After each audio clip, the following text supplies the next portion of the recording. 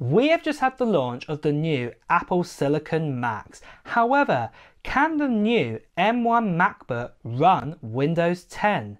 Is it possible to even do this? Well, we're going to find out right after this.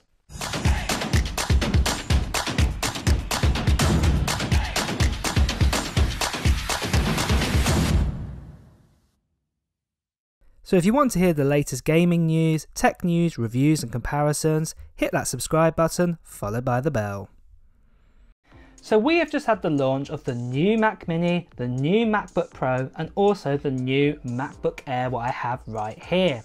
Now many of us will be buying this because of that new M1 processor what is absolutely outstanding. In fact check out my review of the M1 processor on my channel to have a bit more details about it. However though one of the big questions that everyone's wondering is will Windows 10 run on this? So for many years now since we've had Intel processors in Macs up until now in the last say 15, 16 years or so, we've had the ability to run Windows either on a virtual machine using virtual machine clients or we've had the ability to actually boot up from the start on the computer using Apple's own program called Boot Camp. And basically that allows you to completely boot up into Windows absolutely fine. And Apple provide the drivers for all the chipsets and all of the things like the webcam, keyboard, you name it, and mouse and trackpad. And you are able to have a full Windows experience on your MacBook. And then when you were finished, you could just shut it down and then you could boot back into your Mac here and then you could get going there. And then like I said, there were other people out there or other companies who created virtual machines. And especially in the more later years now where we get more cores on processors, where we're getting like six or even eight cores on them, it's been much more easier to use virtual machines instead of just having two cores or four cores before and sharing them amongst your Mac OS and also your Windows virtual machines. It's become more and more appealing.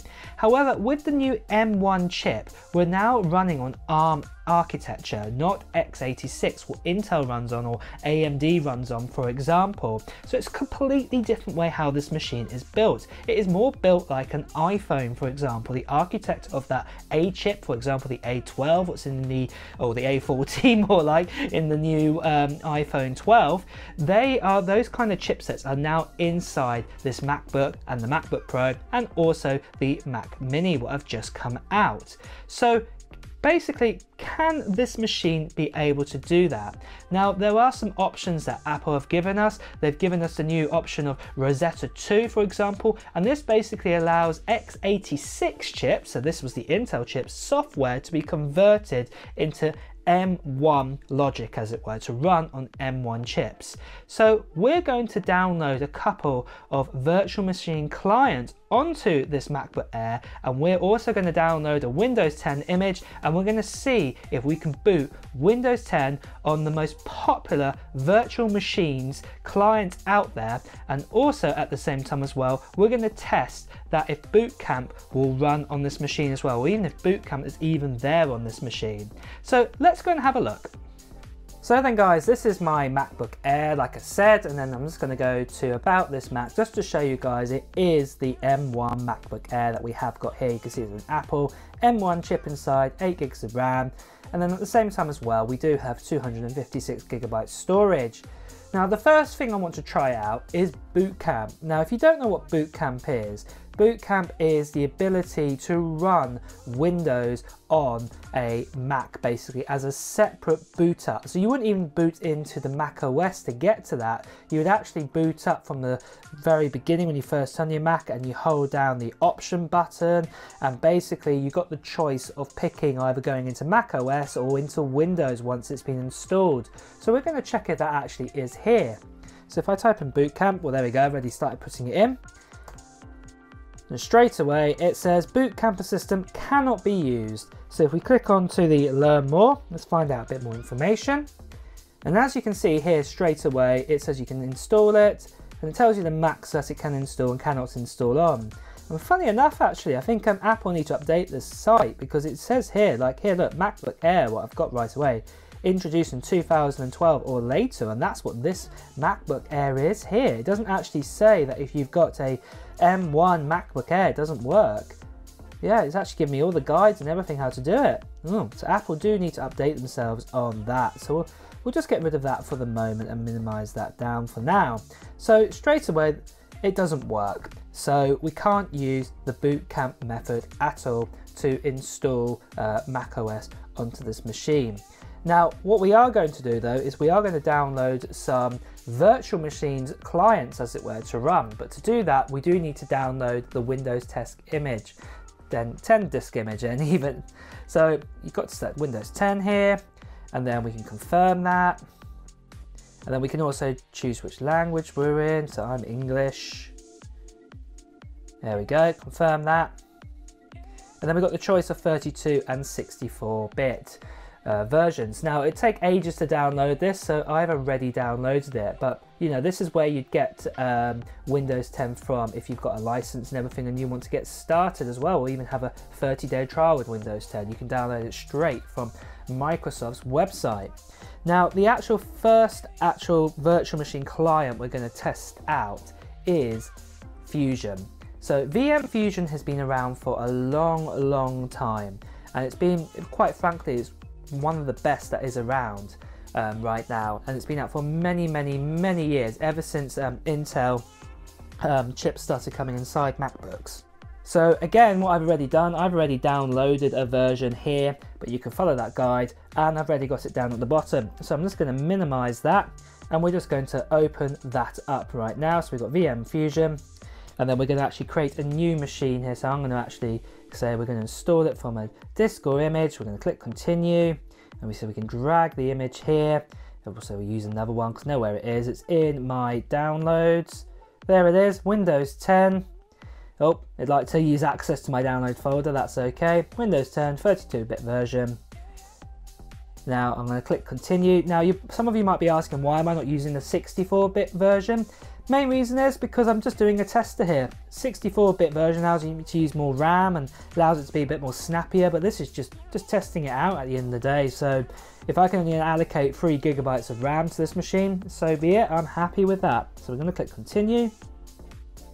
And then it's got all my bits and pieces, it's saying if I want to put my thing, I've got my language, it says which version of Windows I've got. I haven't selected it yet, so I'm gonna say Windows 10 Home. I'm gonna click continue. Uh, I don't have a key, so continue without the key for the moment. Um, I'm to make it more isolated for this view. And let's just click continue. That means we're not going to mix the apps up between Mac OS and Windows. Click continue and there's a summary. We've got 60 gigabytes allocated. We've got two cores allocated. At the same time, we've got one gigabyte of RAM. Well, I might want to change actually in a minute, but we'll see how it boots up to begin with. And we're going to call it Windows 10 32. Let's call it that. So we're to click save. And there we go. And straight away, fail to power on. This basically means, again, it's because of that M1 chipset inside it, that ARM 64-bit chipset what Apple have made, it's not compatible at this stage. So that's one out of the water. So let's go back to the drawing board. So Fusion, you don't work. Next of all is VirtualBox. And again, you can download it by clicking here.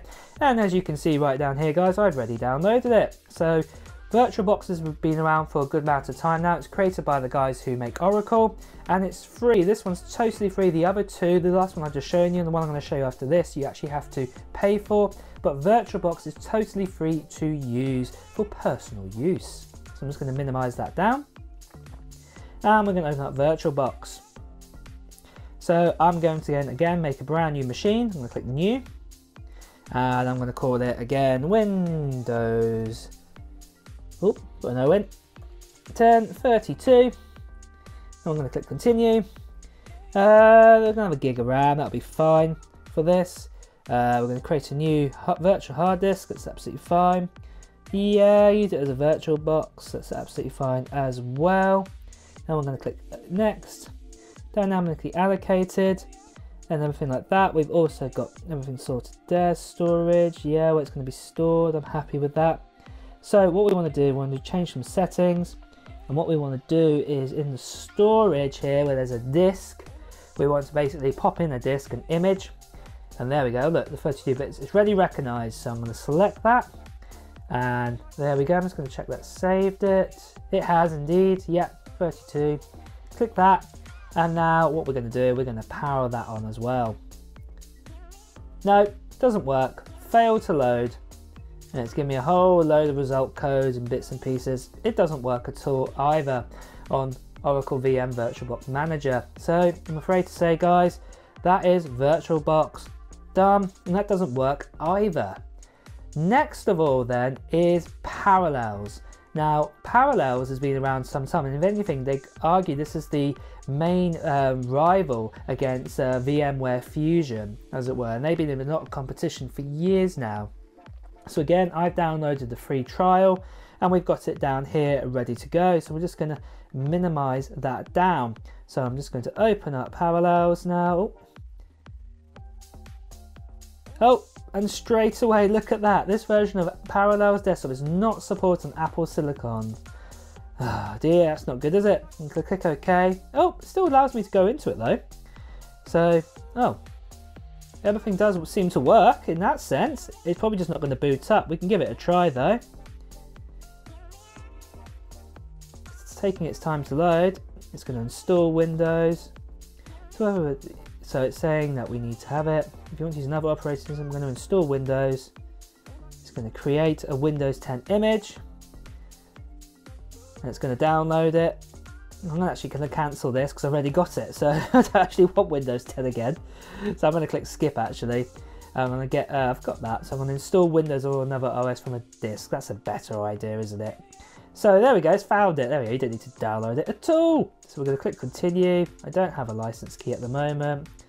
Uh, what version of Windows 10 have we got? Let's say we got home and click 10 and I'm going to use it for productivity for this case just to see if it actually works. Yeah, we're going to do that. It's going to create ourselves an image. Says it's still not supported. Again, really throwing it. I don't think it's going to work, guys. I'm going to leave it that as the name. No. I'll click create again. No. It really does not want to continue. It knows. Yeah, I think we're just going to skip this. So we're going to click learn more. And it's just going to open up a thing. And this is something I actually had open already. Um, here, as you can see on this page here. We've already got that open. Let's just close it down there. So it says here, this is from Nick Dobrotsky's I think I've said that right, or Democracy, so forgive me if I've said that wrong. He's the Vice President of Engineering Support, or Senior one. And he says that they're looking to create it, they're looking it to work with it, um, but at the moment it's just not there yet. Well, the good news is, guys, right now the answer is we cannot run Windows 10 on um, a Mac with M1 chip inside it right now, what is a bit disappointing. So if you're buying it for using it for Mac and also you're buying it to use um, to have Windows, right now, at the moment, end of November 2020, it does not work. However, I'm going to put a however. What has happened is the guys at Parallels have said that they're doing basically a preview, a private technical preview, and you can sign up to this to be an early person to get it and test it out if you really, really want to. Now, good news, I've already down, well not downloaded this, I've already signed up to this, so I should be getting a copy when it comes available. But what you guys need to do if you really want to try out Windows is that you can sign up to this as well and I'd really really recommend that. So it does look hopeful. And I will also be leaving a link in the description to this webpage for you guys to sign up as well. It's totally free, there's no affiliate links or anything like that, so you can sign up. Well, there you have it guys. At the moment, the M1 chip is not compatible with Windows 10.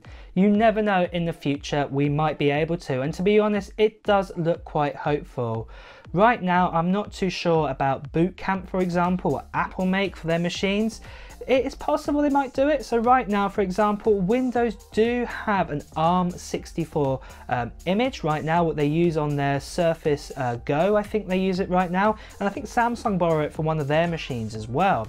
It's just not freely available right now. And I think it's still in its kind of preview state, but you never know. Apple do have a good relationship with Microsoft and they've said this many times for many years. Even though you'd think they're the outright competitors for each other, they do have a good working relationship. So you never know, we might have the ability to actually have that image and Boot Camp to be updated to run Windows 10 on an ARM-based chip from startup. On the other side of the coin though is the virtual machine world. Well, we do have really, really good news there as we saw with Parallels. Parallels, for example, have got that private beta. And like I said, I'm going to be putting that in the description below this video. So make sure you sign up to that to get yourself involved in that technical private beta, as it were, if you do want to test uh, Windows 10 on a virtual machine. There definitely is enough cores in this machine. You know, there's eight cores built into the M1 chip, and the graphics core also has eight chip cores as well. So there's definitely enough power. So there is a new hope. And the good news is if Parallels are updating their software to work with this, it does mean most likely that VMware will copy and VirtualBox will also copy and other virtual machine clients out there will also copy the same idea. So there is hope. Just right now though, at the end of November 2020, it is not available.